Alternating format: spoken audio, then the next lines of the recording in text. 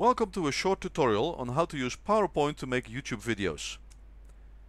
This really is a 10 step process and I find it fairly easy to use and I hope you will be using it as well to make your YouTube video. Step number one is to research your topic or story. I'm the host of the Finance Storyteller channel and I explain financial vocabulary as well as walk people through financial statements as examples. So what I do is to make sure I understand the topic first myself before I explain it to others and share it to the world as a YouTube video. Step number two is to prepare your PowerPoint slide content. So let me show you an example of a topic I've recently researched called deferred tax assets which is a asset on the balance sheet and as you can see my slides are highly visual and the font size is fairly big in order to make sure that people can watch it even on a mobile device. Step number three is to prepare your PowerPoint animation. In order to do this, you switch on the animation pane over here on the menu. And as you can see, for example, on this slide, I build up my slide step by step.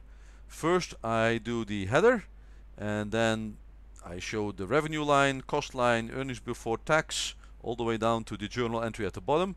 And I build up the slide in such a way that I don't overwhelm the viewer with too much information at the same time. I really take it step by step so it's easy to follow. Step number four is to write and edit your script. Before recording I make sure that I write down everything I want to say in the Microsoft Word document and I print out this document after editing and I want to make sure that it is not too long so my rule of thumb is that a 5 minute um, audio track is about one page of Microsoft Word. So make sure that it flows well and that you don't get stuck on one element of your story for too long.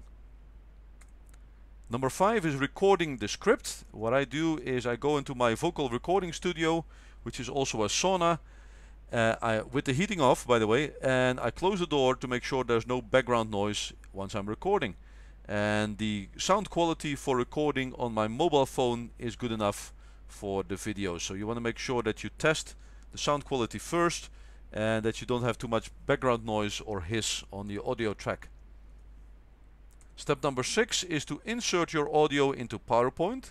So for me that means synchronizing my phone first and then I make sure that I insert the audio file by going to insert audio audio on my PC and I go to the DTA file which is short for deferred tax assets. I drag this to the far right so it's outside the visible screen.